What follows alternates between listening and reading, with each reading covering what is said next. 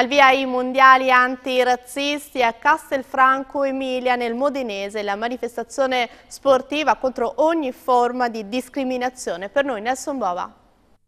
Noi abbiamo avuto una mobilitazione importante del mondo professionista eh, del calcio ad aprile, quando nella Serie A e nella Serie B sono scese in campo le squadre con lo striscione Verità per Giulio Regeni che ho portato qui oggi a testimonianza che mh, mm, la mobilitazione deve essere sia dall'alto con i nomi importanti, ma deve essere soprattutto dal basso. Vigilia dei mondiali antirazzisti, edizione numero 20 a Bosco Albergati. Cominciano ad arrivare con le loro tende i primi giocatori delle 184 squadre che da tutto il mondo sono qui per giocare a calcio e a tanti altri sport da domani fino a domenica 10 luglio. Ma oggi si parla della vicenda Giulio Regeni con il portavoce di Amnesty International Riccardo Nuri. Dopo quattro mesi non c'è ancora una verità.